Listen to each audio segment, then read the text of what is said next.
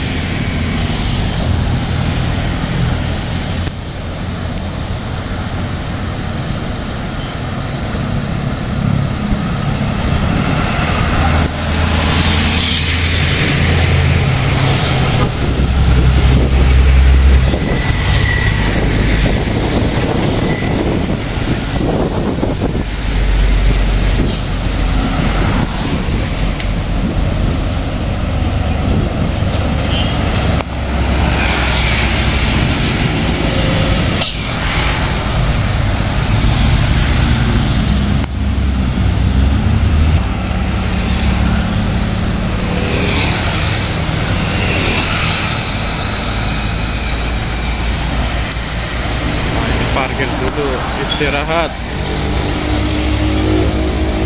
Apa supir yang capek atau ngantuk istirahat aja